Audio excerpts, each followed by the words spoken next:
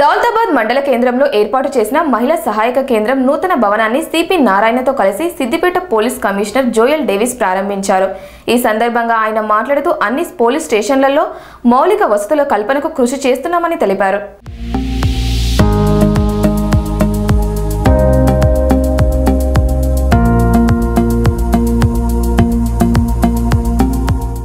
Siddipet police commissioner Joel Davis అన్ని police స్టేషన్లలో మౌలిక వసతుల కల్పనకు కృషి చేస్తామని పేర్కొన్నారు. దౌతాబాద్ మండల కేంద్రంలో పోలీస్ స్టేషన్లో ఏర్పాటు చేసిన మహిళా సహాయ కేంద్రం నూతన భవనాన్ని ఆయన సిపి నారాయణతో కలిసి ప్రారంభించారు. ఈ సందర్భంగా ఆయన మాట్లాడుతూ పోలీస్ స్టేషన్లలో పనిచేస్తున్న మహిళా సిబ్బంది కోసం ప్రత్యేక గదులను నిర్మిస్తున్నామని దానిలో భాగంగా దౌతాబాద్లో మహిళా సహాయ కేంద్రం ప్రారంభించడం జరిగిందని తెలిపారు. తెలంగాణ ప్రభుత్వం పోలీసు శాఖలో తీసుకువచ్చిన మహిళా రిజర్వేషన్ల ఫలితంగా ప్రతి పోలీస్ స్టేషన్లో మహిళా ఉద్యోగుల సంఖ్య పెరుగుతుందని వారి అవసరాల రీత్యా ప్రత్యేక గదులను నిర్మిస్తున్నామని తెలిపారు. వివిధ కేసుల నిమిత్తం పోలీస్ స్టేషన్లకు వచ్చే వారికి నిరీక్షించడానికి ప్రత్యేక గదులను నిర్మించామని ఇకపై ప్రతి కేసును ఆన్లైన్ చేసి కేసులలో పారదర్శక పెంచుతామని అన్నారు. కేసు విచారణలో వేగం పెంచుతామని ఇకపై ప్రతి కేసును ఎస్ఐ నుండి డీజీ వరకు ఆన్లైన్లో చూసుకునే వెసులుబాటు కలుగుతుందని పేర్కొన్నారు. కేసు నిమిత్తం పోలీస్ స్టేషన్కు వచ్చే ప్రజలతో మర్యాద పూర్వకంగా మసులుకోవాలని సిబ్బందికి సూచించారు. పోలీస్ శాఖ పట్ల ప్రజల నమ్మకాన్ని పెంచాలంటే ప్రజలతో సమన్వయంతో కలిసి ముందుకు సాగాలని పిలుపునిచ్చారు. పోలీస్ విధి నిర్వహణతో పాటు సామాజిక బాధ్యతగా ప్రజలతో కలిసి సామాజిక సేవ కార్యక్రమాలు చేపట్టినప్పుడు ప్రజలతో మమేకమై సాగడానికి అవకాశం కలుగుతుందని తెలిపారు. ఈ కార్యక్రమంలో Daulatabad SI Chandrashekar SI Shankar police సిబ్బంది తదితరులు పాల్గొన్నారు.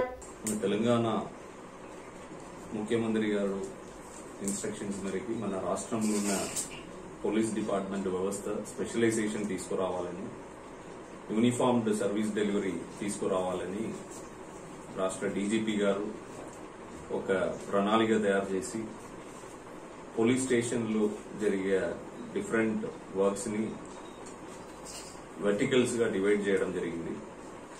దానిలో కొన్ని police station city police stations పదిహేడు వెర్టికల్స్ ఉంటాయి. రూరల్ పోలీస్ స్టేషన్స్ పదమూడు వెర్టికల్స్ అట్లా డిఫరెంట్ స్పెషలైజేషన్ క్రియేట్ చేయడం జరిగింది. దానిలో అతి కీలకమైనది రిసెప్షన్. ప్రజలు ఎవరైతే బాధల్లో వస్తున్నారో వాళ్ళని కూర్చోపెట్టి వాళ్ళకి ప్రాపర్గా కన్వీనియంట్గా నీళ్ళు మంచినీళ్ళు అవన్నీ తాపించిన తర్వాత వాళ్ళ బాధలు విని ఒకవేళ వాళ్ళకి రాయడం తెలుసంటే వాళ్ళ దగ్గర నుంచి పెటిషన్ రాసుకొని తీసుకోవడం. లేదు రాయడం తెలియదంటే మనమే ఒక ఫార్మట్ ఇచ్చి వాళ్ళ బాధల్ని విని ఆ రిసెప్షన్ ఆఫీసర్ దాన్ని రాసుకోవడం. రాసిన తర్వాత ఎవరైతే సీనియర్ స్టేషన్ హౌస్ ఆఫీసర్ ఉన్నారో వారికి వెళ్ళి కల్పించడం. కల్పించిన తర్వాత ప్రతి పిటిషన్కి ఒక్కొక్క ఎంక్వైరీ ఆఫీసర్ని అలాట్ చేయడం జరుగుతుంది. ఆ ఎంక్వైరీ ఆఫీసర్ అలాట్ అయిన వెంటనే సిస్టంలో ఆన్లైన్లో ఫీడ్ చేయడం జరుగుతుంది. ఆన్లైన్లో ఫీడ్ అయిన పిటిషన్స్ రోజు ఇక్కడ ఏసీపీ గారు కానీ సిపి గారిని రాష్ట్ర డీజీపీ గారు వరకు ఎవరైనా ఆ పిటిషన్ని చూడొచ్చు. ఆ పిటిషన్ రాగానే కంప్లైంట్స్ కూడా ఆన్లైన్ రిసిప్ట్ కూడా ఆ ఫిర్యాదుదారికి ఇవ్వడం జరుగుతుంది. దాని తర్వాత ఆ ఎంక్వైరీ ఆఫీసర్కి ఒక ఫామ్ ఇవ్వడం జరిగింది. ఎలా ఎంక్వైరీ చేయాలి? ఆ విట్నెసెస్ని ఎలా తీసుకోవాలి? ఎన్ని విట్నెసెస్ని తీసుకున్నారు? ఏ టైంలో వెళ్ళారు? ఆ పర్టికులర్ ప్లేస్కి వెళ్ళారా లేదా? ఇవన్నీ కలిపి ఒక ఫామ్ ఉంది. వాళ్ళు ఆ ఎంక్వైరీ ఆఫీసర్ ఒక నిర్ణయం ఏంటి? ఆ ఫామ్ని ఫిల్అప్ చేసి ఎస్హెచ్ఓకి ఆయన సబ్మిట్ చేయడం జరుగుతుంది. ఎస్హెచ్ఓ అవన్నీ చూసిన తర్వాత ఏమైనా ఎక్స్ట్రా ఆయనకి తెలుసుకోవాల్సిన ఉంటే ఆయన కూడా క్రాస్ వెరిఫై చేసి ఆయన నిర్ణయం తీసుకుంటారు. అది పెటిషన్ క్లోజ్ చేయాలా? లేదు అది ఎఫ్ఐఆర్గా కన్వర్ట్ చేయాల్సిన అవసరం ఉందా? లేదు ఇంకా ఫర్దర్గా ఎంక్వైరీ ఏమైనా అవసరం ఉందా? ఇవన్నీ తెలుసుకొని ఆ పెటిషన్ని మళ్ళీ ఫైనల్ రిపోర్ట్తో క్లోజ్ చేయడం జరుగుతుంది.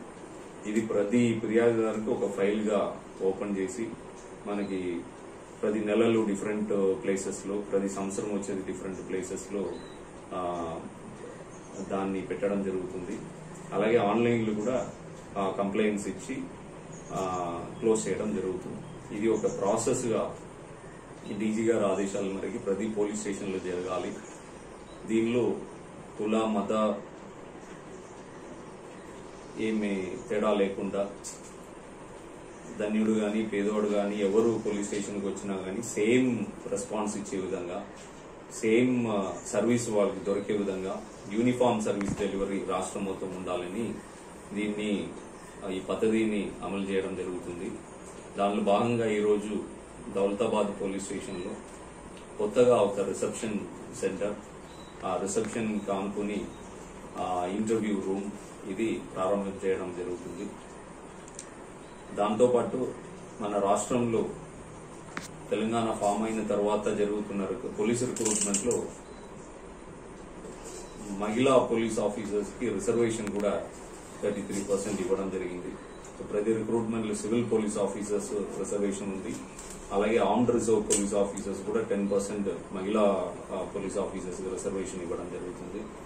సో దీనిలో వాళ్ళ ఫెసిలిటీస్ వాళ్ళు వర్క్ ప్లేస్ డిగ్నిఫైడ్గా ఉండాలి అన్న ఉద్దేశంతో ముఖ్యమంత్రి గారు చాలాసారి ఆదేశాలు ఇవ్వడం జరిగింది. ప్రతి పోలీస్ స్టేషన్లు కానీ ప్రతి వర్క్ ప్లేస్లు కానీ ఈ మహిళా ఉద్యోగులకు సంబంధించి మినిమం ఫెసిలిటీస్ ఉండాలని. దానికి సంబంధించి మా డీజీపీ గారు కూడా మీటింగ్ పెట్టి వారితోనే సలహాలు అడిగి వారికి ఒక ఆన్లైన్ అప్లికేషన్ ఇచ్చి వాళ్ళకి ఏమేమి ప్రాబ్లమ్స్ ఉన్నాయన్నది తెలుసుకొని దాన్ని అవుట్ చేసి ఒకటొకటి పోలీస్ స్టేషన్లో దాన్ని కంప్లీట్ చేయాలి వాళ్ళ ఫెసిలిటీస్ని క్రియేట్ చేయాలని మాకు ఆదేశాలు ఇవ్వడం జరిగింది.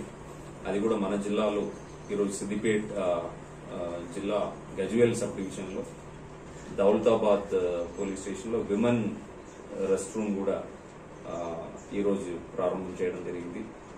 ఇది ఈ సబ్ డివిజన్లో మనకి ఇంకా ఒక రెండు పోలీస్ స్టేషన్ తప్ప మిగతా అన్ని పోలీస్ స్టేషన్లు ఈ ఫెసిలిటీస్ ఆల్రెడీ చేయడం జరిగింది. ఆ రెండు పోలీస్ స్టేషన్స్ కూడా అది త్వరలోనే కంప్లీట్ చేస్తాము. ఈ డిగ్నిటీ ఆఫ్ వర్క్ ప్లేస్ అన్నది ఎవ్రీ ఉమెన్ ఉండాలన్న ఆబ్జెక్టివ్ ఏదైతే ఉందో అది హండ్రెడ్ పర్సెంట్ మన జిల్లాలో పూర్తి చేయడం జరుగుతుంది. Shivagayatri enterprises distributors for submersible pumps మీ గృహ వ్యవసాయ పారిశ్రామిక నీటి అవసరాలకు స్పైరన్ మరియు కోర్సా సబ్మెర్సిబుల్ పంప్స్ మరియు distributors for water softeners Himajal RO plus alkaline water purifiers Shivagayatri enterprises